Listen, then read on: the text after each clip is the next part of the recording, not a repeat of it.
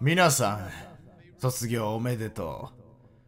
う。このような晴れ舞台を無事迎えることができて、私は安堵を感じるとともに一末の寂しさも感じております。私がこの舞台に立つのはなんと3度目であります。3度目が今回で、1度目は学生の頃、先月ながら卒業代表者として祝辞を述べさせてもらい、2度目は深夜にここに侵入して学友と男としての卒業式を催しました。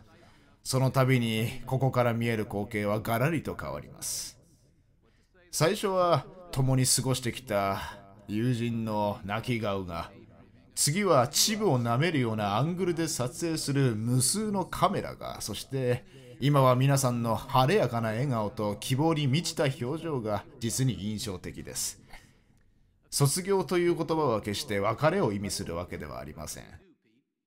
これから社会に出る者もいれば学業に専念する者、子供部屋おじさんに就職する者、道は枝分かれし、出会いはツタのように絡み合い、運命は満開の花のように輝く。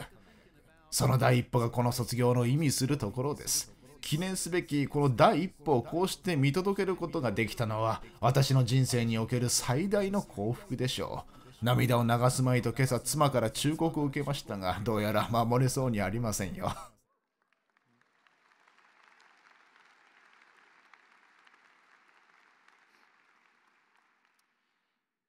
卒業後は疎遠になる者や学生の思い出を消したいと思う者もいるでしょう。悪い記憶ばかりだったり恥ずかしい思い出を黒歴史と断じ未来英語を封じたいと願う学生もいるはずです。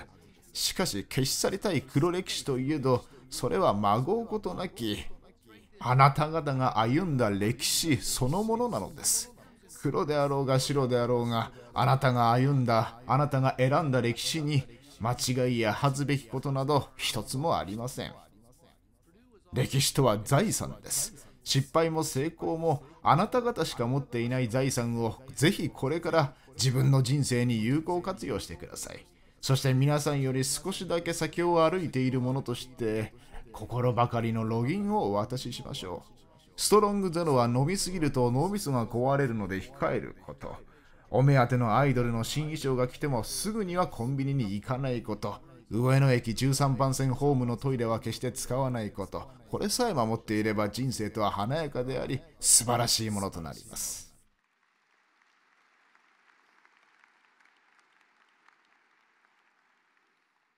ハメを外すなとも、はめすぎるなとも言いません。常識人であることを強要しません。私たちは常にあなたたちの力になり、足になり、翼になり、そびえ立つ巨木に水を与えましょう。天才、秀才、盆栽、引きニート、世界はあなたたちを求めています。引きニートはいりませんね。間違えました。しかしこれからあなたたちを待ち受けるのは苦難であったり挫折であったり裏切りであったり好きなアイドルが出来婚したりずっと遊んでいたソシャゲがサービス終了したり電車内で脱粉したりと決して楽で笑えるものだけではないでしょう。アイドルがイケメン俳優とずっこんばっこんしても公衆の面前でクソを垂らしても笑っていましょう。警察の世話になることがあるかもしれませんがそんな時でも笑ってください笑っていれば大抵のことはなんとかなるものです。なんとかならないのは芸人宮迫の動画再生数だけです。泣きたい時に笑え、怒りたい時にも笑え、喜ばしい時にこそ大笑いできる。そんなクレイジーでハッピーな活躍を心より期待しています。